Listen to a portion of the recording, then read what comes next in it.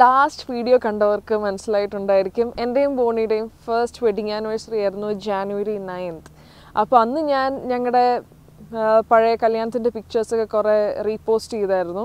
അപ്പോൾ കുറേ പേര് എനിക്ക് മെസ്സേജ് അയച്ചു ചോദിച്ചു ഈ ഗൗൺ എവിടെ നിന്നാണ് അല്ലെങ്കിൽ മേക്കപ്പ് ആരാ ചെയ്തത് അതുപോലെ തന്നെ എന്റെ ബോണിയുടെ സ്യൂട്ട് എവിടുന്ന? കാനഡയിൽ നിന്നാണോ നാട്ടിൽ നിന്നാണോ അപ്പോൾ അങ്ങനത്തെ കുറേ ക്വസ്റ്റ്യൻസ് ചോദിച്ചായിരുന്നു. അപ്പോൾ ഞാൻ ആലോചിച്ചു ഞാൻ ഇതിനെപ്പറ്റി ഒരു വീഡിയോ ചെയ്ത് കഴിഞ്ഞാൽ കുറേ പേർക്കും യൂസ്ഫുൾ ആയിരിക്കും. എസ്പെഷ്യലി കാനഡയിലുള്ളവർക്ക് നാട്ടിലോട്ട് പോയി ഉടനെ കല്യാണം കഴിക്കുന്നവർക്കൊക്കെ ഇവിടെ എങ്ങനെ ഒരു ഡ്രസ്സ് കണ്ടുപിടിക്കണം? അല്ലെങ്കിൽ ഇവിടെ എവിടെ നിന്ന് ഒരു സ്യൂട്ട് നല്ല സ്യൂട്ട് അങ്ങനത്തെ കുറേ ക്വസ്റ്റ്യൻസ് കാണും. അപ്പോൾ I thought of doing a video like this അപ്പോൾ welcome back to my YouTube channel എന്റെ ചാനൽ ആദ്യമായിട്ട് കാണുന്നവരെ if you like the video please subscribe to my channel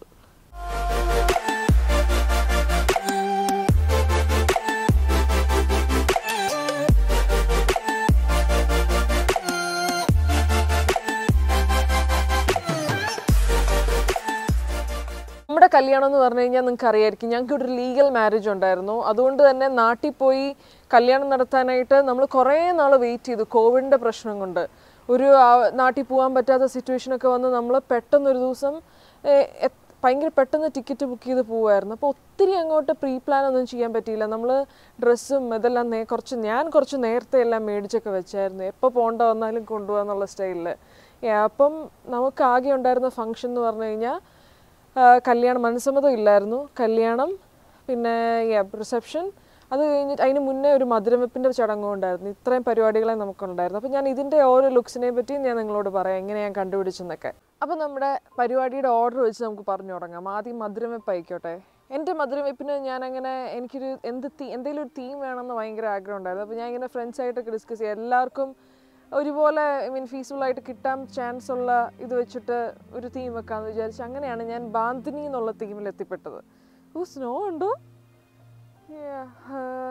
bandhani theme നിങ്ങൾക്കറിയായിരിക്കുമല്ലോ ഒരു നോർത്ത് ഇന്ത്യൻ കൈൻഡ് ഓഫ് ഒരു പ്രിന്റാണ് അപ്പോൾ എല്ലാവരോടും ഞാൻ ഇൻഫോം ചെയ്തു അങ്ങനെയുള്ള ഡ്രസ്സ് ഐ മീൻ അങ്ങനെയുള്ള മെറ്റീരിയലും കൊണ്ട് എന്തെങ്കിലും തയ്ക്കണമെന്ന് അപ്പം അങ്ങനെ ഞാൻ ഇങ്ങനെ കുറേ തപ്പുന്നുണ്ടായിരുന്നു. അപ്പം ഞാൻ ഇൻസ്റ്റഗ്രാമിൽ ഞാൻ അങ്ങനെ ഞാൻ എന്റേതായിട്ടുള്ള ഡിസൈനിങ് ഒന്നും ചെയ്ത് അങ്ങനെ ഒന്നും ചെയ്ത് അതിനൊന്നുമുള്ള സാവകാശം ഇല്ലായിരുന്നു.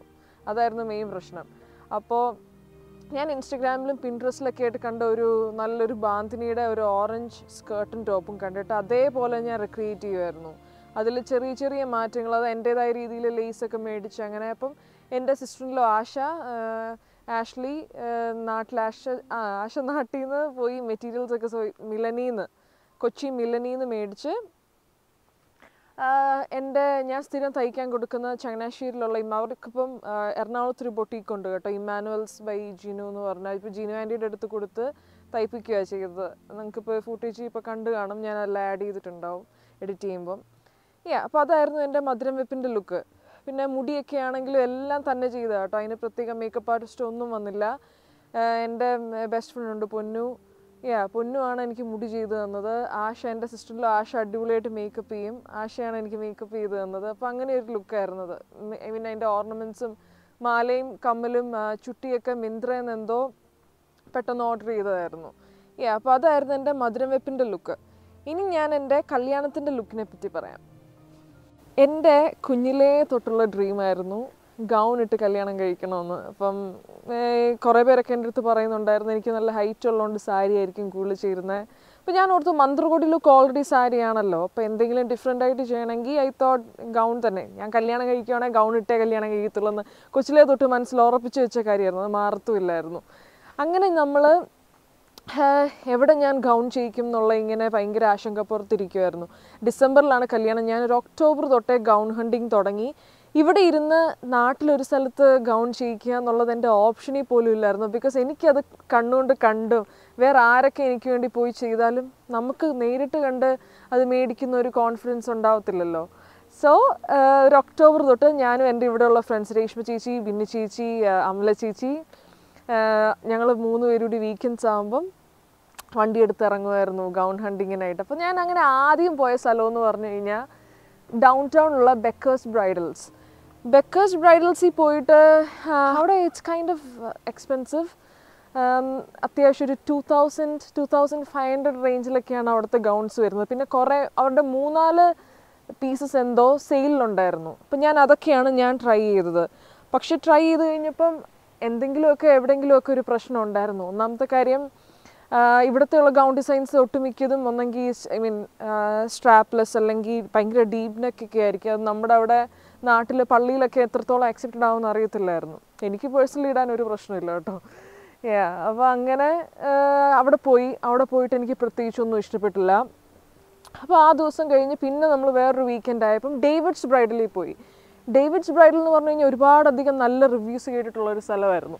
അവിടെ ചെന്ന് കഴിഞ്ഞപ്പം ഞാൻ കുറേ ഗൗൺസ് ട്രൈ ചെയ്തു. അപ്പോൾ ബിന്നി ചേച്ചി ബിന്നി ആട്ടോ എന്റെ ശരിക്കുള്ള ഞാൻ ഐ മീൻ ഞാൻ കല്യാണത്തിന് ഇട്ട ഗൗൺ സെലക്ട് ചെയ്ത ആൾ വിനു ചേച്ചി അവിടെ നിന്നൊരു ഗൗൺ ഇവിടെ ഒരു കണ്ടുപിടിച്ചുകൊണ്ട് വന്നു. എനിക്ക് ഭയങ്കര ഇഷ്ടപ്പെട്ടു. ഫുൾ ആപ്ലിക് വർക്ക് ഒക്കെ ഉള്ളൊരു അടിപൊളി ഒരു ഓഫ് ഷോൾഡർ ഓഫ് ഷോൾഡർ എന്ന് പറയുമ്പം ഐ മീൻ പക്ക ഓഫ് ഇവിടെ ഓഫ് ഷോൾഡർ അത് തന്നെ. ഒരു ഓഫ് ഷോൾഡർ ഗൗൺ ഞാൻ ഇട്ട് നോക്കി. എനിക്ക് പക്ഷെ ഫുൾ സ്ലീവ്സ് ആയിരുന്നു. സ്ലീവ് വരുന്നുണ്ട് പക്ഷെ ഇവിടെ നിന്ന് ഇങ്ങനെ ഒരു കട്ട് വരുന്ന പോലെ. എനിക്കത് ഭയങ്കര ഇഷ്ടപ്പെട്ടു. അത് ഇട്ടിട്ട് അവിടുത്തെ പുള്ളിക്കാരി ആ sales person she was like എന്നെ ഭയങ്കരമായിട്ട് കൺവിൻസ് ചെയ്യാൻ നോക്കുക ഇത് തന്നെ മേടിച്ചാൽ മതി ഇത് ഭയങ്കര അടിപൊളിയാണ്. You already look like a bride എന്നൊക്കെ പറഞ്ഞു. പക്ഷെ അതിന്റെ പ്രൈസസ് ലിറ്റിൽ മച്ച് ഹൈ എനിക്ക് അഫോർഡ് ചെയ്യാൻ പറ്റുന്ന പ്രൈസ് അല്ലായിരുന്നു. ടു തൗസൻഡ് റേഞ്ചിലൊക്കെ വരുന്ന പ്രൈസ് ആയിരുന്നു. അപ്പം ഞാൻ എനിക്ക് ഭയങ്കര കൺഫ്യൂസ്ഡ് കല്യാണം ഒന്നേ ഉള്ളൂ. മേടിച്ചാലോ കുഴപ്പമില്ല എന്നൊക്കെ ആലോചിച്ചു. പിന്നെ ഞാൻ ആലോചിച്ചപ്പോൾ കല്യാണത്തിന് ഒന്നേ ഇടാൻ അങ്ങനെ ഇടാനൊരു ഓപ്ഷനേ ഉള്ളൂ. അതിന് അതിനുവേണ്ടി ഞാൻ അത്രയും സ്പെൻഡ് ചെയ്യണോ എന്നൊരു ക്വസ്റ്റനും എന്റെ മനസ്സിൽ വന്നു. അപ്പം ഞാനത് മേടിച്ചില്ല. ഭയങ്കര വിഷമത്തോടെ അത് മേടിച്ചില്ല. അവരോട് പിന്നെ വരാമെന്നൊക്കെ പറഞ്ഞിട്ട് പോന്നു പിന്നെ ഷീ ട്രൈഡ് കോളിംഗ് മീ ഞാൻ പറഞ്ഞു "It's, uh, ഞാൻ മേടിക്കുന്നില്ല എന്ന് പറഞ്ഞു. അതങ്ങനെ പോയി. അങ്ങനെയാണ് ബെസ്റ്റ് ഫോർ ബ്രൈഡ്സ് എന്ന് പറഞ്ഞൊരു സ്ഥലം രേഷ്മ ചേച്ചിക്ക് അറിയായിരുന്നു. അപ്പോൾ രേഷ്മ ചേച്ചി പറഞ്ഞു നമ്മൾ അവിടെ പോയി. അവിടെ ചെന്ന് ആ അത് നോർത്ത് യോർക്കിലെ എന്തോ ഒരു സ്റ്റോറിലാണ് ഞാൻ പോയത്. അവിടെ ചെന്നപ്പം ആ സ്റ്റോറ് അവിടുന്ന് ട്രൈ ചെയ്ത ഗൗൺസ് എനിക്ക് അത്ര നല്ലതായിരുന്നു. പക്ഷേ അതിലും ബെറ്റർ എന്തോ കിട്ടുമെന്ന് എന്റെ മനസ്സിലുണ്ടായിരുന്നു. അപ്പോൾ അവരവരുടെ എറ്റോബിക്കോയിലുള്ള ബെസ്റ്റ് ബ്രൈഡ്സ് ലൊക്കേഷൻ എനിക്ക് സജസ്റ്റ് ചെയ്തു. അവിടെ ചെന്ന് ഒന്ന് രണ്ട് ഗൗണൊക്കെ ട്രൈ ചെയ്തു. അവിടെ ഒരു ഗൗൺ ഒരു ഓഫ് ഷോൾഡർ ഗൗൺ അവരെനിക്കത് സ്ലീവ് നെക്കൊക്കെ വെച്ച് തരാമെന്ന് പറഞ്ഞു. അത് എനിക്ക് ആ മനസ്സിലുള്ള പോലെ നല്ല ഫ്ലെയർ ഒക്കെ ഉള്ള ഒരു ഗൗണായിരുന്നു ഞാൻ അത്യ കുറച്ച് സ്കിന്നി ആയതുകൊണ്ട് എന്റെ ബോഡി ഹഗിങ് ആയിട്ടുള്ള ഗൗൺസ് എനിക്ക് എന്റെ ബോഡി സ്ട്രക്ചറിന് ചേരുമോ എന്ന് എനിക്ക് ഡൗട്ട് ഉണ്ടായിരുന്നു. ഞാൻ എവിടെയും പോയപ്പം അങ്ങനെ ഒരു ഗൗൺ ട്രൈ ചെയ്തില്ല. അപ്പോൾ എന്റെ ഓപ്ഷനിലില്ല അപ്പം അങ്ങനെ ഒരു ഗൗൺ കണ്ടു അത് ഇഷ്ടപ്പെട്ടു അതിന് സ്ലീവ് വെച്ച് തരാമെന്ന് പറഞ്ഞാൽ അത് ഏകദേശം ഉറപ്പിച്ച് കഴിഞ്ഞപ്പോഴത്തേനും പിന്നെ ചേച്ചി അവിടെ നിന്നൊരു സെയിൽ സെക്ഷനിൽ നിന്ന് ഒരു ഗൗൺ എടുത്തുകൊണ്ട് വന്നു. It's kind of body hugging gown ഒക്കെ പോലത്തെ ഒരു ഗൗണായിരുന്നു യാ നോട്ട് ആക്ച്വലി മെർമെയ്ഡ് പക്ഷേ ഇപ്പോൾ നിങ്ങൾക്ക് കാണുമ്പോൾ മനസ്സിലാവും. ആ ഗൗൺ കണ്ടു കഴിഞ്ഞപ്പം എനിക്ക് പുറമേ നിന്ന് കണ്ടപ്പോൾ എനിക്കിത് ചേർത്തില്ല എന്ന് എന്റെ മനസ്സിലിരിക്കുക പക്ഷെ ഞാനത് ട്രൈ ചെയ്തു. ഓ മൈ ഗോഡ് ആ ഇട്ട് ഞാൻ ആ കണ്ണാടിയുടെ മുന്നിൽ ചെന്ന് നിന്നപ്പോഴേ എനിക്ക് ഭയങ്കര ഒരു ബ്രൈഡിന്റെ ഒരു ഫീലിംഗ് വന്നു. ഞാൻ ഉറപ്പിച്ചു ഇതാണ്. And I said yes to the gown!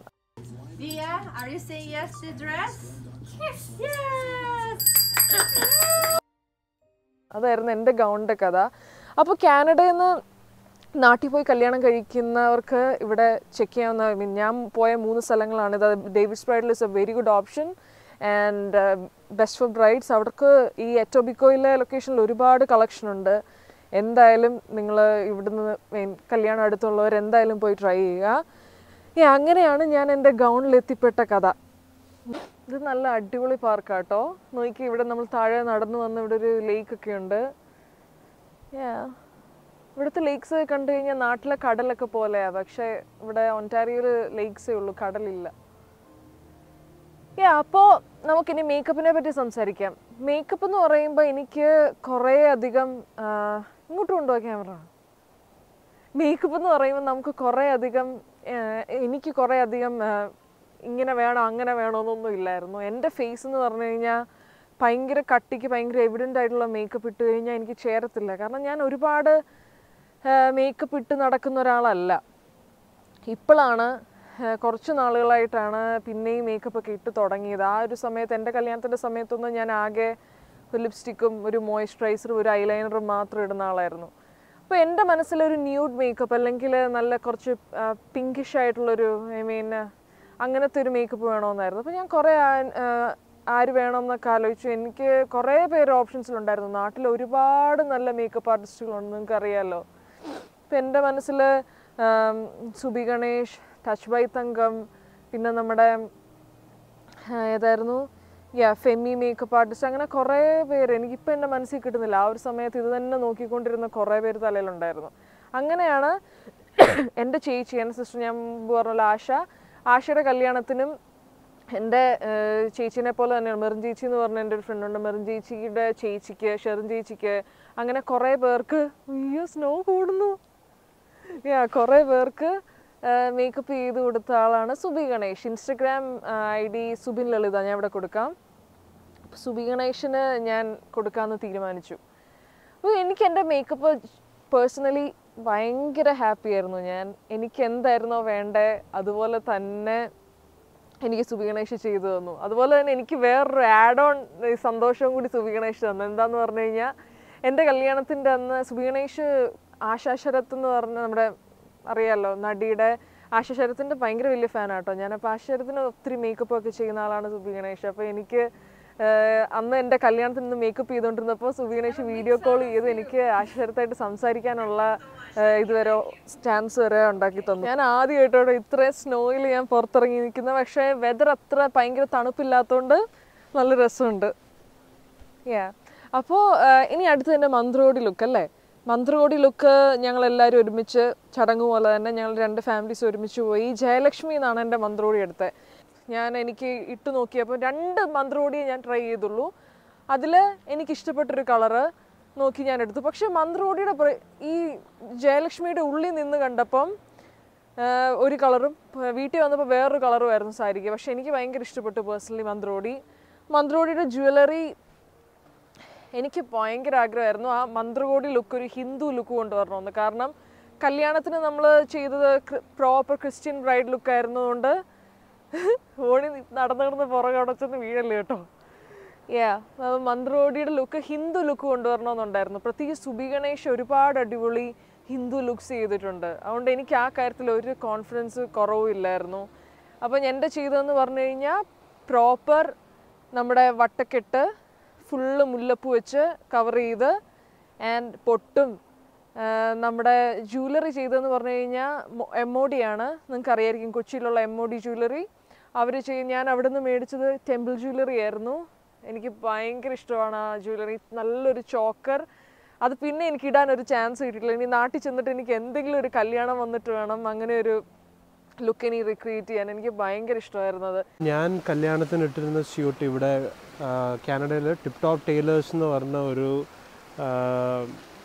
ബൊട്ടിക്കിൽ നിന്നാണ് മെൻസ് സ്യൂട്ട്സിന്റെ ഒക്കെ അല്ലെ മെൻസ് ഫോർമൽസ് ഒക്കെ സെൽ ചെയ്യുന്നൊരു കടയാണ്. അവിടെ നിന്നാണ് ഞാനത് വാങ്ങിയത്. ആക്ച്വലി നമുക്കത് ഫുള്ളി കസ്റ്റമൈസ് ചെയ്യിക്കാനായിരുന്നു താല്പര്യം ആദ്യമേ. പക്ഷേ നമ്മൾ കുറച്ച് ലേറ്റ് ആയിപ്പോയി അത് കാരണം പിന്നെ റെഡിമെയ്ഡ് മാത്രമേ ഓപ്ഷൻ ഉണ്ടായിരുന്നുള്ളൂ.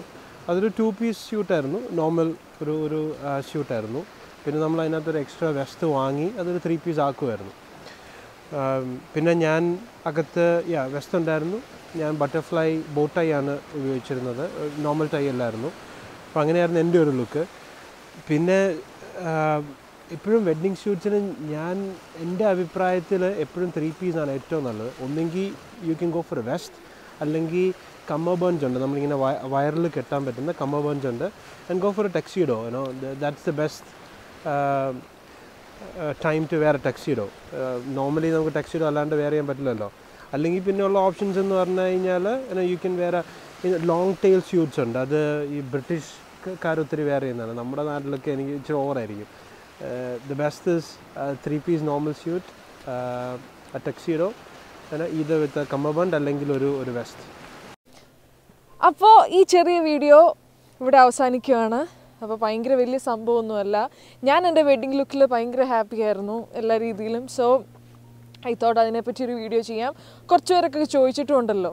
പിന്നെ എല്ലാവർക്കും ഒന്നും ഉപയോഗപ്പെടുത്തില്ല. കല്യാണം കഴിക്കാൻ പോകുന്നവർക്ക് കാനഡയിൽ നിന്ന് പോകുന്നവർക്കും ഒക്കെ കുറച്ച് ഉപകാരമായിരിക്കും. കല്യാണം കഴിക്കാത്തവരൊക്കെ ഒന്ന് കല്യാണം കഴിച്ചു നോക്കും. അത്ര മോശമുള്ള പരിപാടിയല്ല.